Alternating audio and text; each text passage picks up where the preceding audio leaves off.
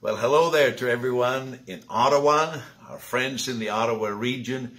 Taina and I are really looking forward to be with you next Saturday, October the 19th. You have all the information there. Here's what I expect to happen. Number one, uh, just a powerful impartation of revelation of Christ who is in you. Then I expect people to receive answers to prayer because that's been happening as we gone from city to city, uh, from Vancouver all the way towards uh, in the eastern direction.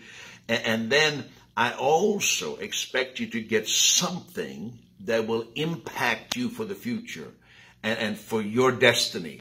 It, will be a night of impartation and breakthrough for you. So tell your friends about it.